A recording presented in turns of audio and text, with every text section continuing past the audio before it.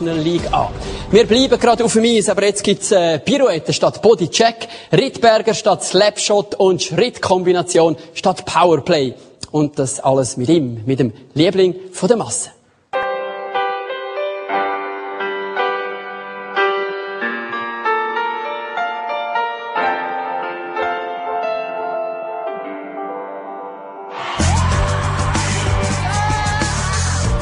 Zwei WM-Titel und olympisches Silber, die Highlights seiner Karriere. Er besitzt Kraft und Eleganz, Athletik und Feingefühl. Er ist Künstler und Kämpfer. Er ist Eiskunstläufer aus Leidenschaft. Wo er läuft, droht das Eis fast zu schmelzen. Begrüßen Sie den besten Eiskunstläufer der Schweiz. Begrüßen Sie Stefan Lambiel.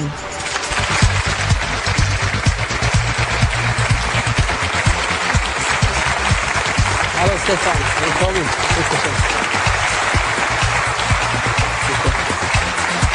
Hm.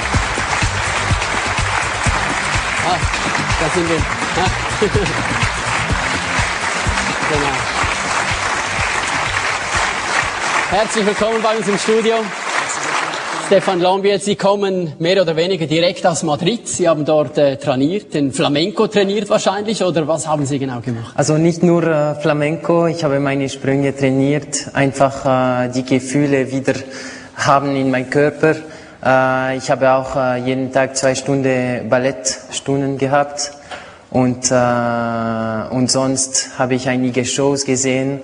Es ist auch gut für den Kopf, etwas anderes zu sehen und äh, Mhm. diese Atmosphäre in Madrid ist ganz speziell.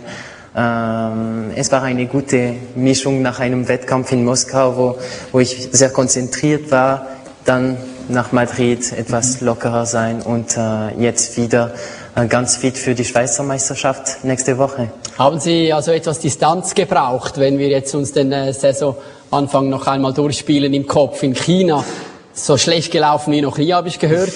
Waren Sie dann bereits unter Druck nach diesem Wettkampf? Ja, also einfach, es war nicht mein Best. Äh, ich habe einige Fehler gemacht.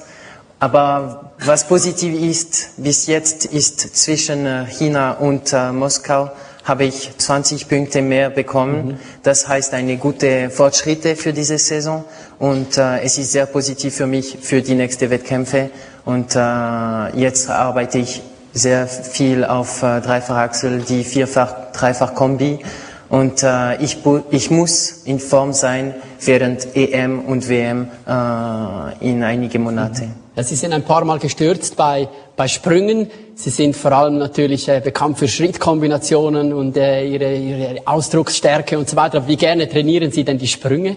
Also die Sprünge sind für mich äh, sehr wichtig und ich, ich mag die Sprünge zu machen. Äh, einfach das Gefühl, man äh, fliegen kann. Äh, einfach manchmal du, du stürzt und äh, du musst das akzeptieren.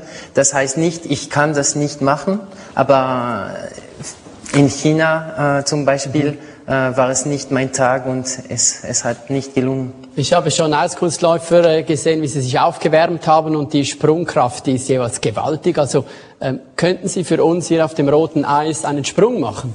Also ich, ich bin nicht so äh, warm. Aufgewärmt natürlich, also nur wenn es geht. Ja, ja, es geht. Also wenn ich äh, einige Applaus. Ah, okay, also.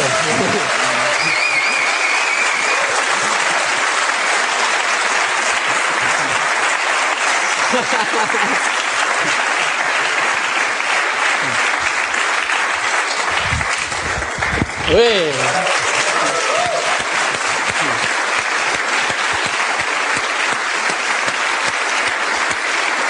Also man sieht, ja. Das geht bei Ihnen einfach so. Wie viele Umdrehungen waren das? Ich bin da schlecht im Zählen jeweils. Das war zweieinhalb. Zweieinhalb Umdrehungen quasi einfach so aus dem Stand. Das, äh, also es hat ja funktioniert mit den Sprüngen. Sie haben also viel Selbstvertrauen getankt in Madrid. Ja, schon. Also ich, ich musste einfach die Routine brechen und äh, etwas anderes haben.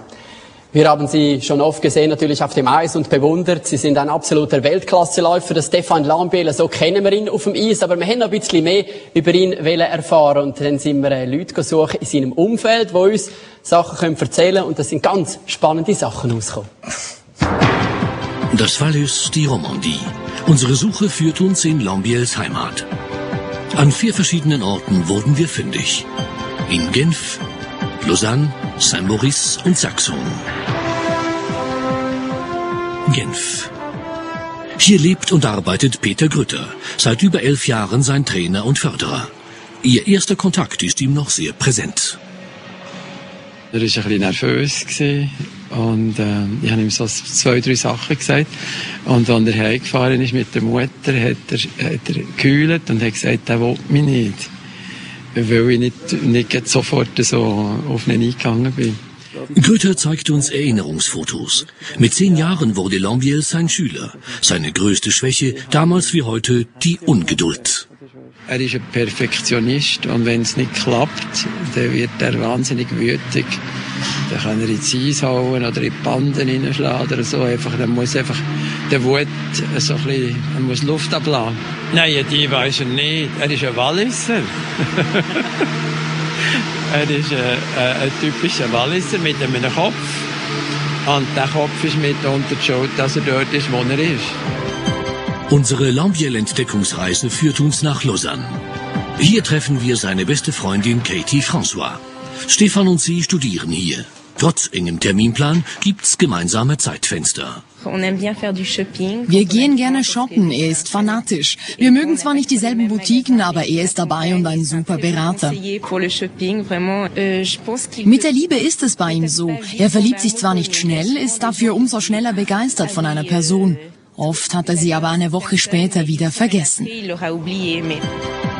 Im Wallis in Saint-Maurice finden wir Stephans Gymnasium. Sein Französischlehrer Bertrand Roduit mag sich zwar an keine Streiche mehr erinnern, doch eins ist ihm geblieben. Sein Blick? Sein Blick war sehr präsent in der Klasse. Gewisse Menschen schauen leer, seine Augen aber leuchten wie Flammen. Er ist ein Original. Er hat eine Seele. Zum Schluss geht's nach Saxon. Hier ist Stefan groß geworden. Bei seiner Familie hatte er immer noch ein Zimmer und überall sein Lieblingstier, Marienkäfer. Gespielt hat er aber vor allem mit anderen Dingen. Spielen konnte er beim Sport. Es war nicht nur Sport, es war auch sein Spiel. Zu Beginn fand ich das nicht so lustig. Das ist mehr für die Mädchen, sagte ich. Spiele Eishockey. Er wollte aber unbedingt Eiskunst laufen. Ce qu'il voulait, c'était faire du patinage artistique. C'est du hockey. In seinem Kleiderzimmer hat er alle Kostüme aufbewahrt. Das war sein erstes Kostüm, der Pierrot. Wie alt war er da? Ungefähr acht Jahre alt. Das ist wirklich hübsch. Das Wallis, die Heimat von Stefan Lambiel. Hier endet unsere Reise. Ja, Stefan Lambiel, haben Sie sich wiedererkannt? Ja, schon. Einige Sachen schon. Ähm, nein, es ist ähm, also einfach die meine ähm, die Klasse in mhm. Samoritz. Ja. Das ist schon was. Also ich ich habe so viele Stunden da gesitzt und gewartet, dass ich weg von der Schule äh, könnte und äh, es ist schon was, wenn ich das sehe und äh, all, alle diese Personen, die mir etwas gebracht haben, haben mir geholfen, äh, um, ähm, um Stefan Lambiel zu sein. Ich meine,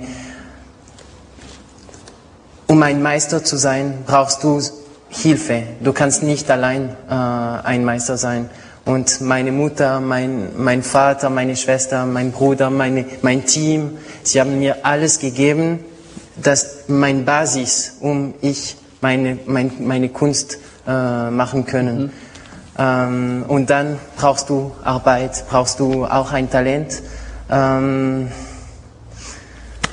es ist einfach schön, dass ich jetzt hier bin und äh, ich brauche nicht mehr etwas zu äh, beweisen. Mhm. Einfach meine Kunst zeigen und äh, immer noch arbeiten und weiter mm, machen und äh, ich arbeite jetzt, um meine äh, Sport nach oben zu, zu äh, tragen. Ja, also Sie sind ein Sportler, aber natürlich auch ein Künstler. Sie sind ein Künstler, der auf verschiedenen Bühnen erfolgreich ist. Denn wir haben nämlich noch etwas anderes gesehen vom Stefan Lambiel. Er könnte nämlich ein richtiger Showstar sein. Schauen Sie sich das an. After-Show-Party bei Art on Ice. Und der Stefan Lambiel mit dem Mikrofon hat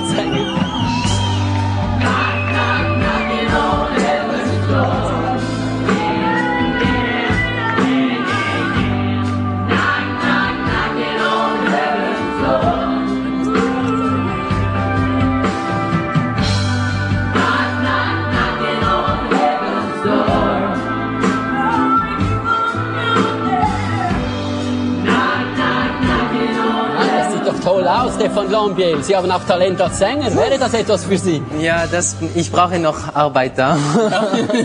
ja, ähm. Aber sind Sie ein Mensch, der das Publikum braucht, der die Bühne braucht, auch diese Showauftritte braucht? Ich brauche eine Bühne, das ist klar. Und äh, dieses Jahr habe ich äh, verstanden, dass ich ähm, vor einer Bühne meine, meine Arbeit machen muss. Mhm. Also nicht muss, aber ich, ich möchte immer auf einer Bühne sein und, äh, und etwas, das berührt, zeigen, Emotionen teilen und äh, das ist ein Kontakt, den ich mit, mit meiner Familie, mit meinen Freunden, mit, mit einem Publikum das, das brauche ich für mein Leben. Wir freuen uns, Sie auf diesen Bühnen dann zu sehen, bei diesen Shows, Weltmeisterschaften, dann Europameisterschaften. Aber im nächsten Jahr wird es bei uns eine ganz große Fußballbühne geben, natürlich, die Euro 08. Wie sehr interessiert Sie Fußball? Also ich mag Euro und äh, Coupe du Monde, wenn ich äh, Fernsehen schaue, mhm. äh, habe ich immer gern diese, diese Mannschaft. Also es gibt einen Kampf, du, du kannst äh, fühlen, dass es gibt ein Land hinter mhm. die Mannschaft, die, die drückt die Daumen, die will, ja. dass, dass es gewinnt. Und äh, es wird sehr schwierig für mich, weil äh, die, äh, also Schweiz gegen Portugal. Meine Mutter kommt aus Portugal, ja. Meine Mutter kommt aus Portugal äh, und mein Vater aus dem Wallis. und es wird äh, schon schwierig sein, eine, eine Team zu äh, unterstützen. Also man merkt, Sie fangen auch gerade für bei der Euro 08. Ja, und Euro 08 ist natürlich bei uns auch das grosse Thema und dann mit der Eröffnung von dem neuen Studio haben wir uns auch ein neues Gesicht gewünscht in unserem Moderatorenteam. Für das haben wir ein aufwendiges Casting gemacht. Wir haben einen Haufen Kandidaten äh, ausprobiert und prüft. Sie alle haben da mitgemacht bei dem Casting und äh, wir haben geschaut, wirklich, wer ist der Beste oder wer ist die Beste. Aber einer ist es dann ganz klar gewesen und zwar er. Der Schilberg Ress und heute hat er seinen ersten Auftritt bei uns im Sportpanorama. Herzlich willkommen, Gilbert Gress.